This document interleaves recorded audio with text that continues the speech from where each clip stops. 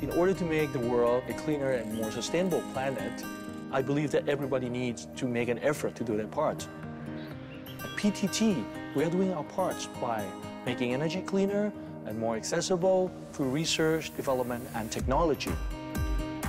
At KVIS and VISTEC, we're trying to offer opportunities to gifted students in math and science to grow to their fullest potential. We're trying to foster the future innovators, researchers, and scientists. All admitted students will receive full scholarships to their graduation because uh, they are the future, they are Thailand's future.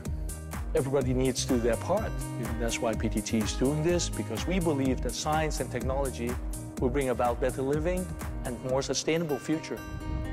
I'm very proud to be a part of this.